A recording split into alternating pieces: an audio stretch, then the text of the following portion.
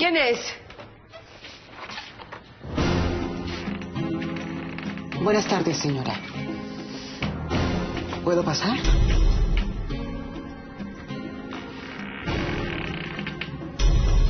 ¿En qué le puedo servir, señora? ¿A quién busca? ¿Cómo le va, señora? Soy una amiga de la familia del Real. Alguien que está muy interesada en ayudar a Elisa. Bendito sea Dios. Pase, pase, por favor, pase. Gracias. Dígame una cosa. ¿La mandó don Justo del Real? Sí, sí, claro. Me mandó don Justo. Y yo estoy interesada en ayudar a Elisa. En demostrar su inocencia. Ella es inocente. Ella no tiene la culpa de nada de lo que ocurrió. Yo necesito demostrar eso, señora. Y lo primero que tenemos que hacer es buscar pruebas. Demostrar que esa inocencia en la que usted cree, y en la que yo creo también, sí es real. No, bueno, pero es que yo ya no sé qué hacer.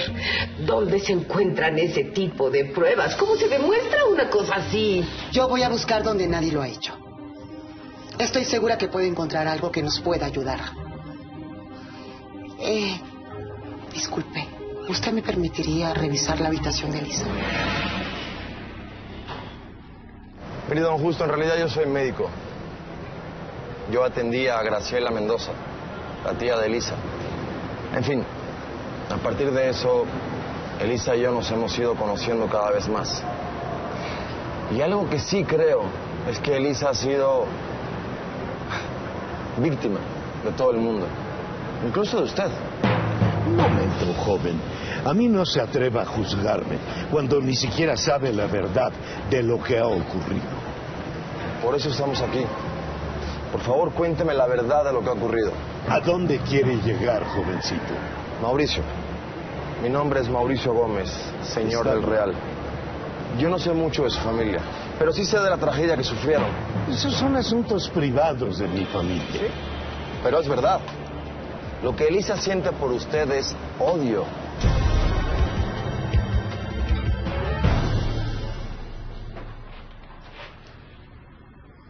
¿Cómo ha podido vivir mi hija en este lugar? ¿Cómo es posible?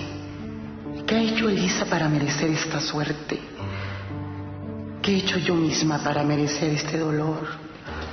Por el simple hecho de que ella siempre me despreció.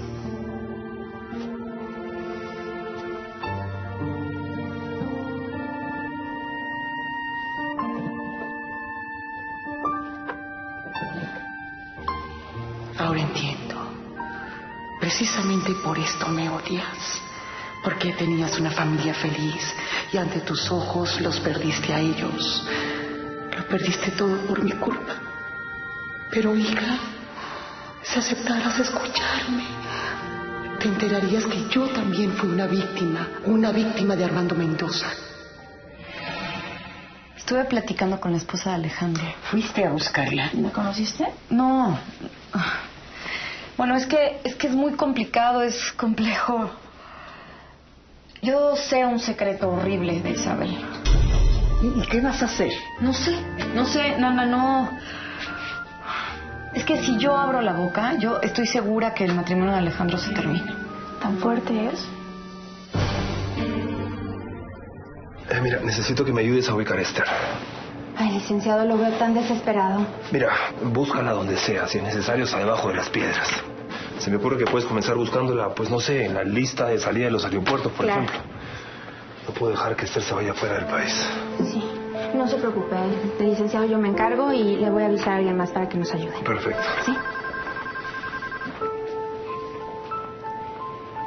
Sí, presidencia del consorcio del Real. Buenos días. ¿Quién lo busca?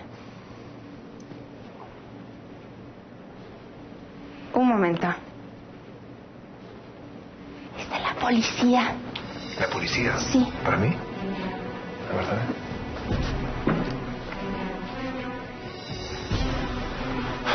¿Sí? Su familia no me importa, pero sí me importa Elisa. Y mucho. Ella es una rebelde que no sabe lo que dice. Y si está usted tan enamorado de ella, haga algo. Hágale entrar en cordura, porque está loca. Si sigue así, Su vida va a continuar detrás de las rejas en donde se encuentra ahora. ¿Cómo que se va a reabrir la investigación del caso de la muerte de Armando Mendoza? Yo pensé que era un caso cerrado. Sí, yo sé, yo sé, pero él falleció hace varios años. Por supuesto que nos interesa saber. Sobre todo si hay algo que nosotros todavía no sabemos. Pero qué estupideces más grandes tiene esa muchachita en la cabeza. Es que no son estupideces. Es la verdad. Son mentiras. Mentiras. Su padre era un delincuente del que mi hija tuvo la desgracia de enamorarse. Ese hombre solo trajo desgracias a mi familia. Y veo que aún muerto es capaz de seguir destruyéndonos. Eso a ti no te importa. No eres nadie para meterte en mi vida. Comparado con usted, no soy nadie. Lo que sí soy, que es lo único que tiene Elisa en la vida, es un hombre que la ama. Y ese soy yo. Un hombre que está ahí para ella, que ha estado ahí para ella y que va a seguir ahí para ella. La pregunta es, con todo y su guarura enfrente, ¿quién es usted en la vida de Elisa?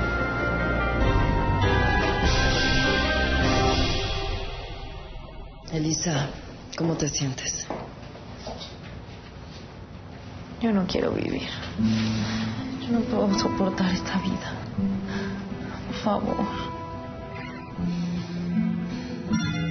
Elisa es inocente. Valiente hombre le resultaste, Mauricio. Mientras tú estás dando sermones ridículos de moral, de dignidad, ella está presa, amarrada a una cama, queriéndose matar.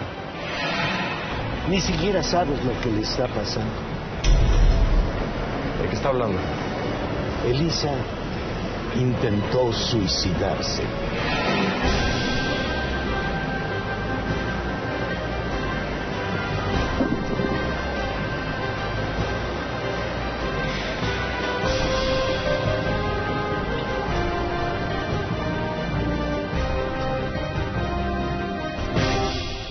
Traje un sanguchito, mis niñas. Nana, yo soy la chef y tú te la pasas cocinándome. Oye, ya, dinos. ¿Qué? Dinos el secreto de la mujer de Alejandro. Ay, Elena, qué curiosa. Ya, cuéntanos, no te hagas el rogar, ándale. No, es que no, en serio, no sé si valga la pena. Ay, ¿para qué tanto misterio? Mejor ya cuéntanos, ya. Pues por muchas cosas, Elenita, porque... Pues porque yo no sé si Alejandro me va a creer, porque yo lo amo y porque no quiero que sufra, por eso.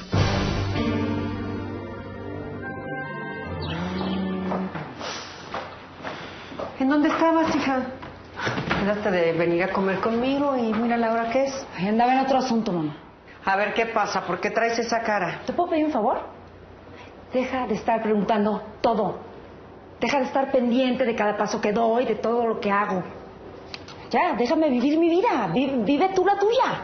Desde que regresaste con el asunto del matrimonio no te he visto tranquila un solo momento. Por el contrario, siento que cada día estás más alterada, más estresada, misteriosa. Mamá, no sé. tengo problemas. Problemas, como todo el mundo, y necesito tiempo para resolverlos. Ya, entiéndelo, entiéndelo, métetelo en la cabeza. Solo te voy a decir una cosa. A mí nadie me va a quitar a Alejandro. ¿Por qué? ¿Qué pasó? Ay, ya, mamá. Todo preguntas. Eres una chismosa.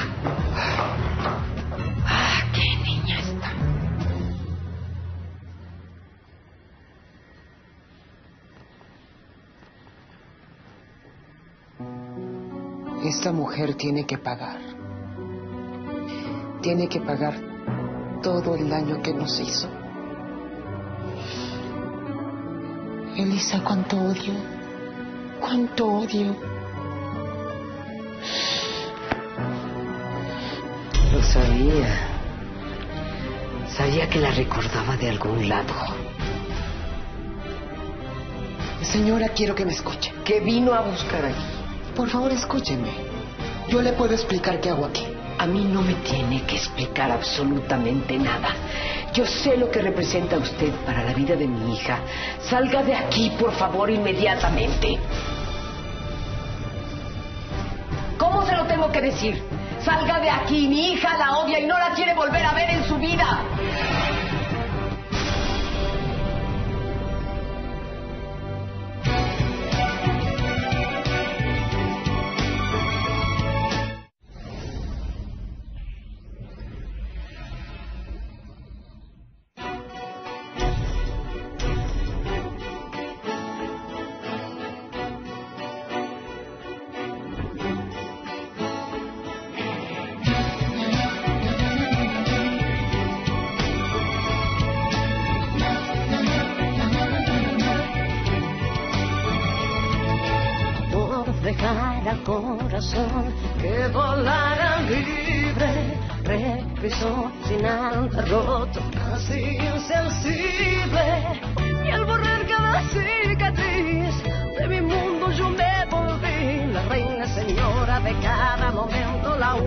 Dueña de mis sentimientos,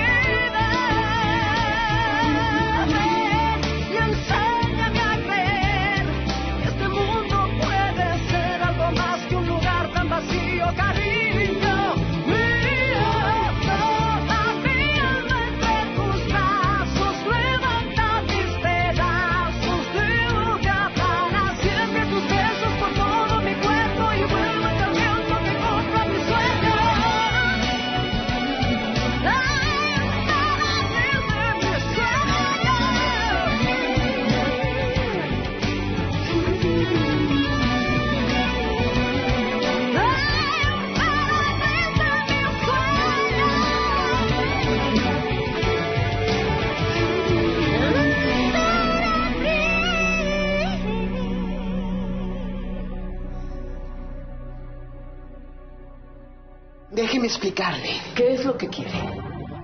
Ya le dije. Estoy buscando algo que demuestre que Lisa no es culpable. Ya no le creo a usted nada. Yo ya no creo que tenga usted nada de buenas intenciones para con mi hijo. Tenga mucho cuidado. Usted no sabe con quién se mete. ¡Claro que sé con quién me meto! Usted es el fantasma de las hermanas Mendoza. Usted es... Yo soy emperatriz jurado. ¡No!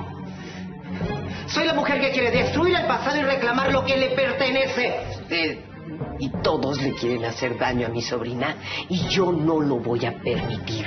Yo no voy a permitir que nadie termine de destruirla. Usted es el odio. Usted es el pasado. Déjeme explicarle. A mí no tiene nada que explicarme. Y yo feliz porque alguien iba a ayudar a mi hija. Pero qué idiota fui. Usted es la persona que menos quiere ver en su vida, ¿no le queda claro? Ella la odia, la detesta. Me odia porque nunca me ha escuchado. Porque ha crecido con un odio sin sentido. Sus razones tendrá. Y por lo que a mí respecta, tampoco la quiero volver a ver en mi vida.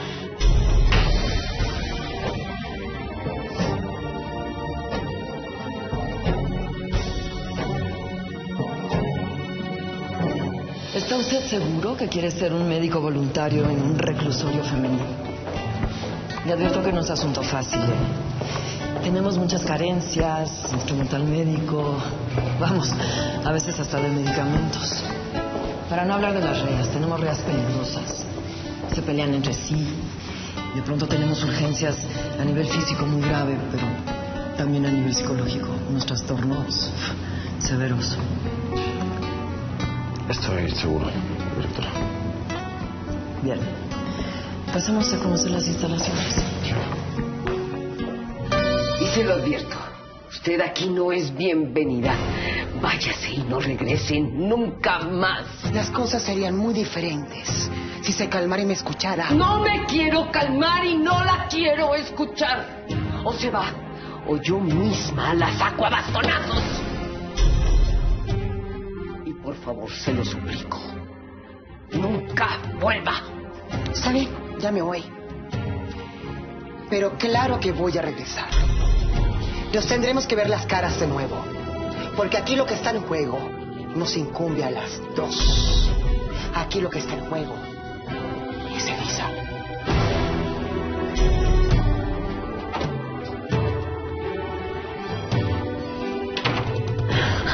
¿Pero por qué? ¿Por qué precisamente ahora? Estas son las instalaciones de la enfermería. Es raquítico, pero bueno, es lo que tenemos. Esta reclusa tuvo una discusión con otra reclusa, se golpearon, pero se está recuperando. Mira, ella es Elisa. Perdón, Tomó un bisturí. ¿Elisa? Elisa ¿Por qué está amarrada? tomó un bisturí e intentó suicidarse.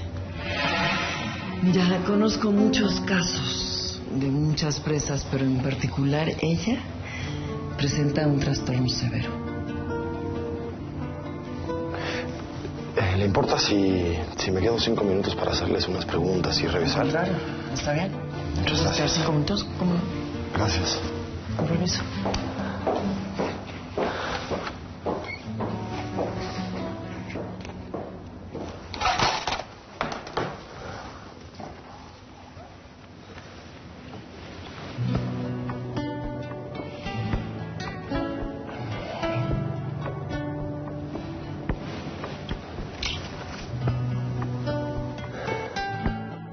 Te iba a llamar, pero preferí venir directamente. Eh, mira, hay algo serio que quiero hablar contigo. ¿Qué pasa, Alejandro?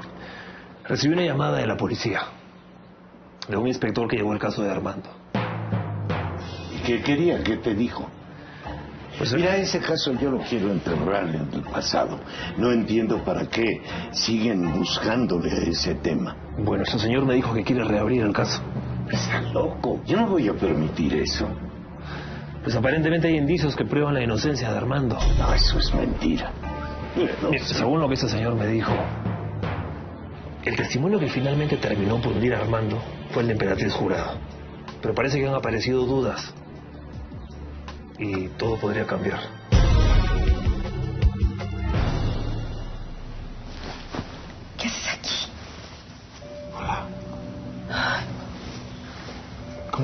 Aquí? Yo no quiero estar lejos de ti. ¿Por qué lo hiciste? ¿Por qué te cortaste, Elisa? Aunque no me digas, me voy a enterar. Acabo de hablar con la directora del penal. ¿Qué? ¿Para qué? ¿Qué, qué, qué hablaste con ella? ¿Qué, ¿Para qué? Me voy a trabajar aquí. Me ofrecí como médico voluntario. A ver, Mauricio, no estoy jugando. Yo tampoco. ¿No quiero entiendes estar que yo no quiero que estés cerca de mí? Que quiero que te dejes de meter en mis cosas. Es un poquito tarde para eso. A partir de hoy, todas las tardes, cuando salga de guardia del hospital, vengo para acá. Pues entonces voy a pedir que me lleven a mi celda. Pues entonces me he visto recluso y que me manden a tu celda. Elisa, te pueden mandar al fin del mundo. Puedes irte donde quieras y voy a ir atrás de ti. Quiero que estés viviendo esto. No quiero que estés aquí. Déjame en paz. ¿Tú no quieres eso? Te amo. No lo hagas, Mauricio. Por favor. Mira, tú puedes pensar que el mundo es un lugar asqueroso, lleno de violencia, lleno de odio, de rencor. Ese es todo tu derecho. Yo también tengo derecho a pensar en el mundo, aunque sea un espacio así, entra el amor. Existe esa esperanza, incluso en ti, que te han hecho tanto daño, que estás tan llena de odio. Existe ese espacio, Lisa.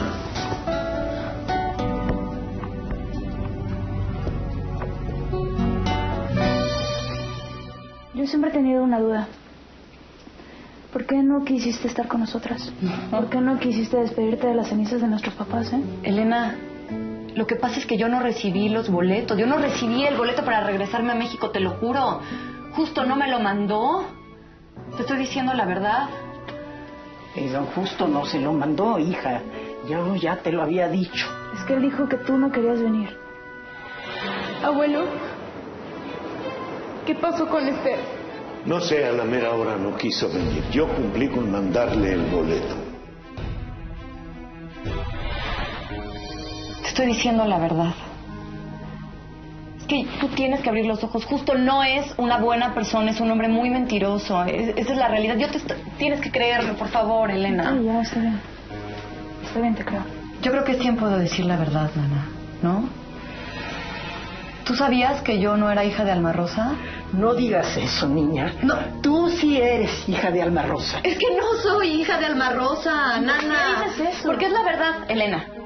Porque todo el mundo lo sabe. ¿Por qué seguir con mentiras? ¿Tú sabes quién es mi madre, Nana? Porque si lo sabes, dímelo.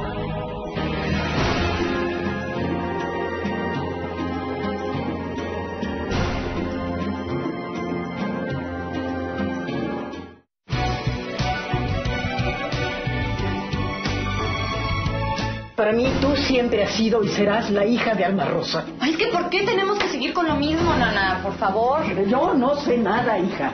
Pero si tú dices que Alma Rosa no es tu madre, no tengo ni idea de quién pueda serlo.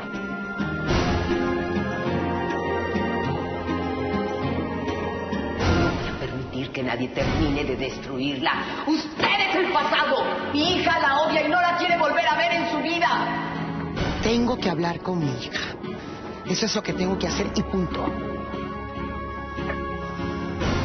A mí no me parece que debamos permitir que se abra otra vez esa investigación. Armando Mendoza siempre fue un delincuente, un traidor. Él acabó con mi familia. Perdóname justo, pero tú no crees que deberíamos saber la verdad. Digo, quizás existan cosas que te puedan beneficiar. No, no. La verdad, no me interesa conocer nada más. Suficiente con las fechorías que hizo Armando. Yo quiero que, que tanto el caso como él queden completamente en el olvido. ¿Entiendes eso? Pues estás loca, porque Alejandro, mío, va a ser tuyo hasta el día en que yo abra la boca y le cuente a Alejandro tu secreto. Ser? ¿Por qué me está pasando esto a mí? Yo pensé que mi pasado ya estaba enterrado. Esther, Esther, Esther. ¿No crees que en vez de estar ahí sufriendo por asuntos que desconozco y en los cuales no te puedo aconsejar, deberías ir a tu nuevo hogar y encargarte de él, hijita? Tienes que tomar posesión de tu nueva casa. Tienes razón, mamá.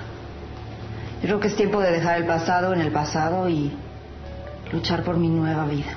¿Qué estás hablando, hija?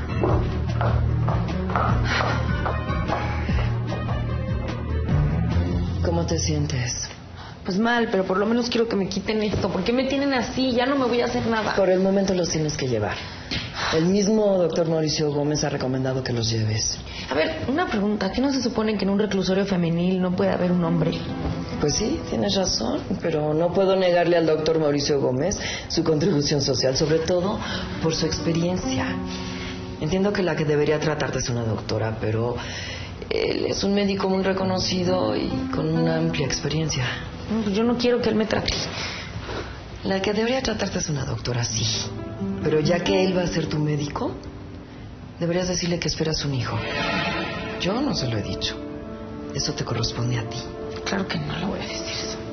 Hay cosas que no se pueden ocultar por mucho tiempo, Elisa. Pronto el embarazo se te va a notar. Y lo mejor es que se lo digas, sobre todo porque a partir de ahora, él es tu médico. Si se lo dices, inicias tu proceso para aceptarte a ti misma y a tu hijo. ¿Cómo quieres que me calme? Cuando hace un momento estuvo aquí Alejandro y me dijo que hay un bendito policía, un inspector sin oficio, que está empeñado en abrir el caso de Armando Mendoza. Lo que no entiendo es a cuenta de qué aparece ese policía. Ahora que han pasado los años. El caso ya estaba cerrado. No tiene sentido que lo quieran reabrir. ¿Qué es lo que pretende demostrar ese policía? Por lo que me cuentas, quiere demostrar la inocencia de Armando Mendoza. Ese desgraciado era culpable. Es más, aún después de muerto, sigue siendo culpable. Si hay un policía en medio de todo esto, fue porque alguien lo buscó, alguien lo llenó de dudas, le llenó la cabeza. de- Voy a averiguar quién fue. Fui yo. Yo le pedí al inspector Godínez que me ayude a demostrar la inocencia de mi padre.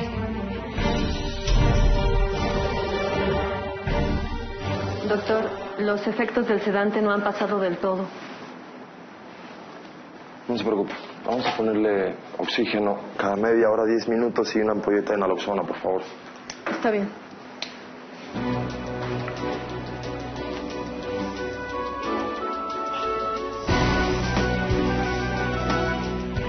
Luego hablamos justo. Paso a retirarme. Te llamo Mariano. Gracias. ¿Con permiso? Soy el inspector Jaime Godínez, señor del Real. Espero que se acuerde de mí. Qué gusto volverlo a saludar. Qué difícil es aceptar la verdad, ¿no te parece? No, no me parece, porque aquí la única verdad es que mi padre es inocente. No es más que una niña absurda que creen cuentos de hadas. Armando Mendoza era un delincuente, un trans. Ah, para eso está aquí el inspector, para explicarte por qué yo creo firmemente en la inocencia de mi padre.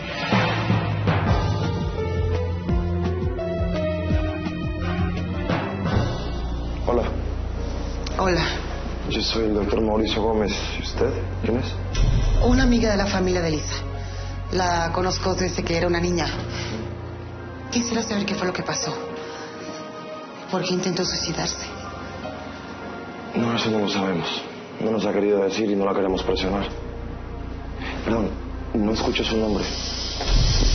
Disculpe, no, no puede pasar ahora. Está sedada y lo mejor es que descanse. Entiendo. Eh, eh, ¿Le puedo dejar una nota con usted? Por favor. Sí, claro. También le anoté mi número telefónico. Por favor, cualquier cosa que llegara a necesitar Elisa, dígale que no duden en llamarme. Para mí es muy importante que ella esté bien. Por favor, asegúrese que lea la nota así. Gracias. Supongo que aquí viene su nombre. Sí.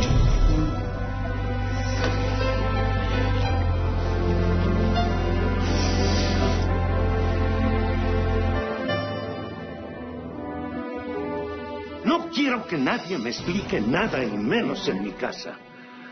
Todo esto es una estupidez. Ese caso se cerró hace muchos años. Sí, pero mi papá era inocente. Nadie le creyó empezando por ti. Hay muchas cosas que se tienen que esclarecer. Eres una muchachita tonta, caprichosa, que vas a saber de casos, de leyes, que vas a saber de nada ni en la vida. Ella puede ser que no sepa de nada, señor del Real, pero yo sí sé. ¿Cómo se atreve? Discúlpenme, pero hay muchas cosas raras en el caso de Armando Mendoza. Muchos cabos sueltos, muchas líneas de investigación inconclusas. Si Armando Mendoza fue detenido es porque era culpable. En lo que a mí respecta, tengo la conciencia tranquila de no haber defendido a esa rata que era tu padre. Entonces no vas a tener ningún problema con ir a declarar, ¿no? ¿O qué? ¿Tienes miedo? No me retes, Esther. No te metas conmigo. No, a mí no me amenaces. A mí no me amenaces porque no me provoca nada. Yo no te tengo miedo. Yo te dije una vez que te ibas a arrepentir y que me iba a convertir en tu peor pesadilla. ¡Fuera de mi casa! Eh, señor del Real, este es un citatorio para usted.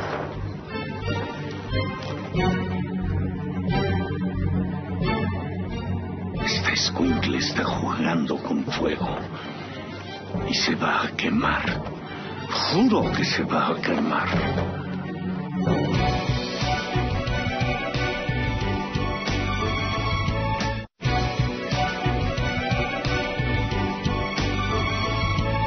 Estamos a la orden, estamos en contacto.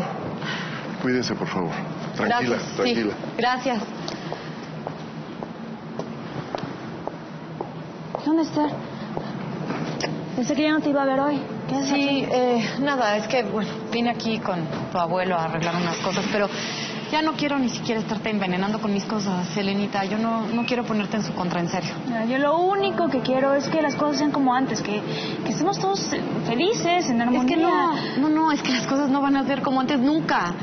Es- Este señor está lleno de resentimiento, de odio, yo no lo soporto. Elena. ya, tranquila, tranquila. ¿Por qué no te llevo a tu hotel? ¿Mm? Te doy un aventón. Ya tranquilízate, ¿qué? Gracias. No lo traigo en mi bolsa. Tampoco está en el baño. Es un maquillaje que es de polvo, Lola. ¿Dónde está? Ay, no lo busques ahí. ¿Dónde lo pusiste? Ay, qué raro. ¿Quién será a estas horas? Hmm. Deben de ser los del colchón que compré. ¿Ve a abrir? ¿Colchón? ¿Qué colchón, señora? Un colchón nuevo. Lola, ve a abrir la puerta. ¿Qué haces ahí parada? Ay, increíble. Acompáñame, ándale, para que ayudes a cargar.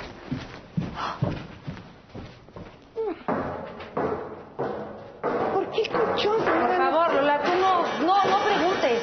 Ya voy.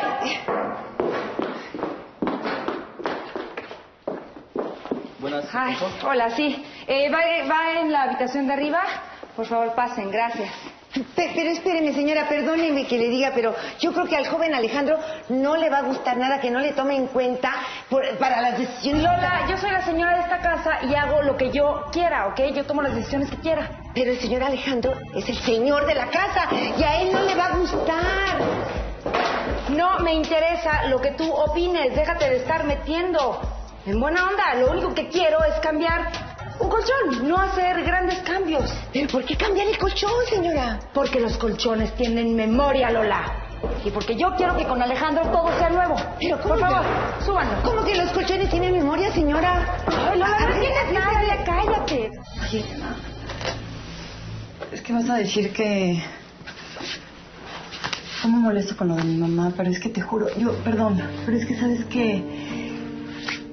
Es que tengo que saber, Elenita, de dónde vengo, quién soy, quién es mi mamá y...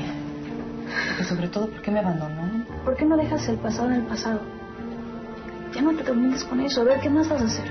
Voy a ir a buscar a la emperatriz. Estoy segura que ella debe saber algo. Elisa, hay muchas personas que se preocupan por ti. Deberías informarles a ellos, sobre todo a tu familia.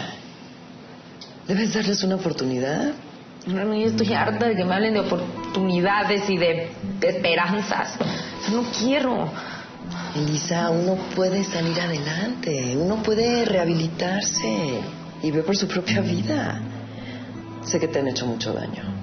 A todos en algún momento nos han hecho daño. Pero la gente que se queda con ese resentimiento termina destruyéndose. Tú tienes gente que te quiere, Elisa. No hagas que se alejen de ti porque no eres capaz de darles una oportunidad.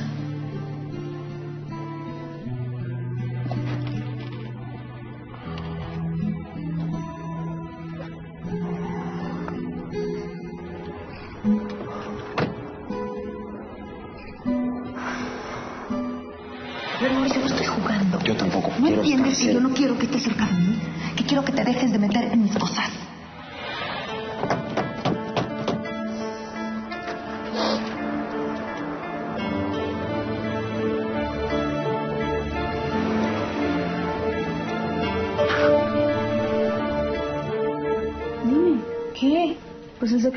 secreto es eh, el de la mujer de Alejandro. ¿Qué es? Ay, ya, Elenita, no te voy a decir. Tienes que decirme. Entre hermanas no puede haber secretos, así que tienes que decirme. Tiene que ver con que Alejandro es pésimo para encontrar mujeres que le convengan. Mm, Eso lo dices porque no te ha encontrado a ti, ¿verdad? Ay, no. Ay, claro, no Ay, te hagas. Mira, por un lado crees que todas quieren con él, ajá. Y por el otro lado, pues, bueno, crees que todas las que quieren con él, pues, no le convienen, ¿no? Son pésimas. No es eso. Créeme.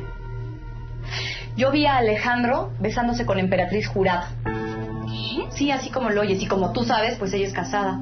Bueno, claro, por supuesto, yo conozco a su esposo. Supongo que eso no habla muy bien de las mujeres con las que está Alejandro, ¿no? Y tampoco, pues, Isabel. ¿Qué es lo que sabes de ella? Eso fue lo que te pregunté. ¿Qué, qué sabes de ella? Te lo voy a decir.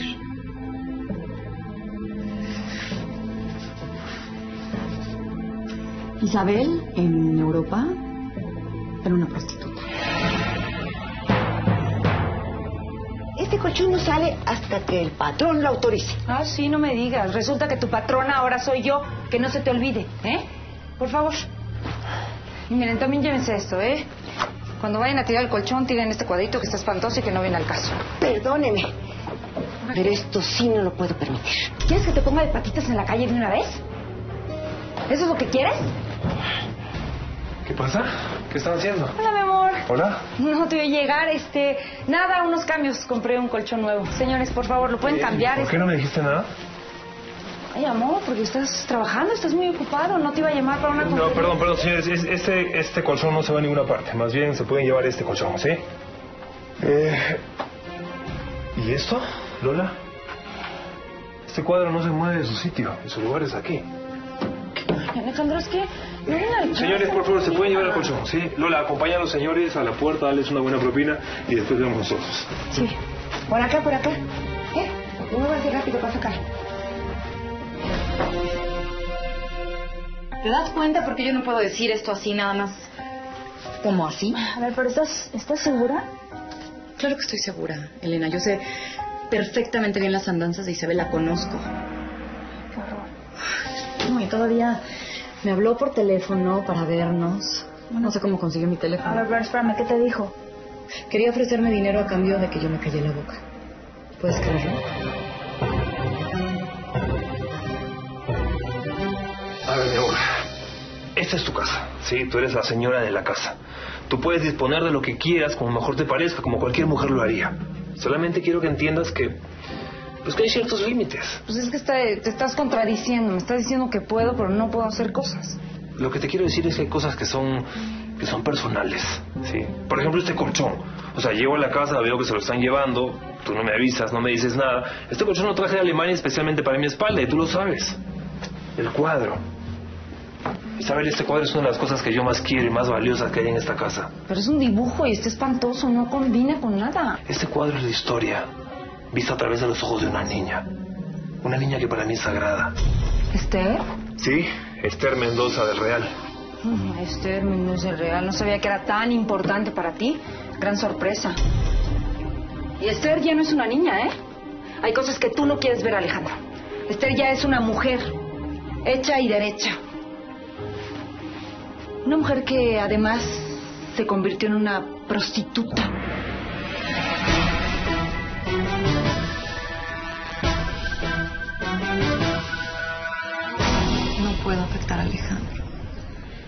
Entonces te estás resignando a perderlo. Y más por una mujer pues, que tú sabes que no vale la pena. Es que no es así. Yo no sé cómo pasaron las cosas, Elenita. Yo no sé qué es lo que él sienta. Yo no sé si está él con ella por compromiso, por lo del niño. Lo único que sí sé es que cuando lo veo sigo sintiendo mucho amor por él. Ay, Esther.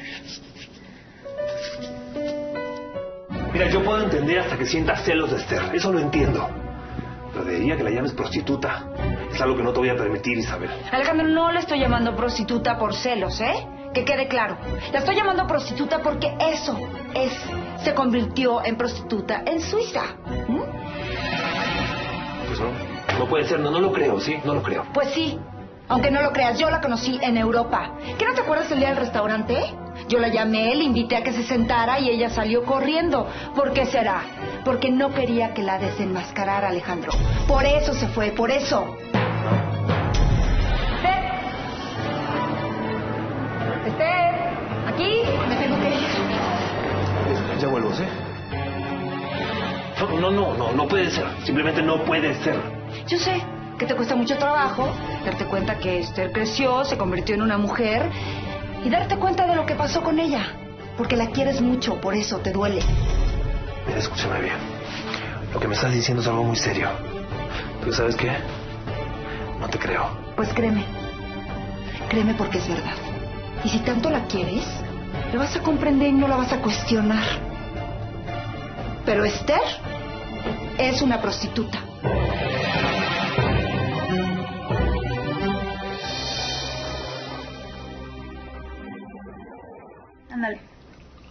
La leche. ¿m? Como niña chiquita siempre tengo que decir. Ay, pero es que esta me encanta. Mm. Vente para acá. Vas a ver que muy pronto vamos a estar juntas y felices. Ay, espérame, qué tonta, qué tonta. Espérame tantito, espérame tantito. ¿Qué? Que tengo algo para ti. Mm. Mira. ¿Qué es? Ay, no. Oh, Me acuerdo perfecto de cuando nos tomaron esta foto. Ay, hermanita, gracias. Pero ¿por qué no la pones en el buró? Sí, ponla en el buró así todos los días la ves. En la mañana, cuando te despiertas, en la noche, cuando te vayas a dormir. Y así nos visualizas a las tres juntas. Oye, pero no tengo ningún marco. Ay, pues te paso a Tobías y que Tobías la detenga. Ay, sí, que Tobías la detenga. Que nos cuide. A ver. Necesito un marco. Ay, ya te voy a comprar uno. Nada más tantito. Lamento venir a molestarte a esta hora, Alejandro, pero me urgía hablar contigo. ¿Qué ocurre? Quiero que hablemos de mis nietas. Me urge hablar de esas muchachas. Hay cosas que pesan demasiado cuando se llevan en silencio. Yo, yo, yo trato de que se vayan. Hay cosas que hay que tratar de sacar para que la carga sea llevadera.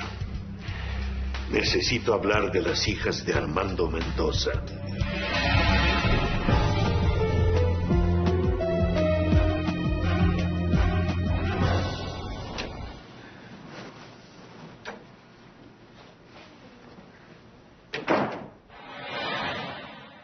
¿Por qué intentó suicidarse? No, eso no lo sabemos. No nos ha querido decir y no la queremos presionar.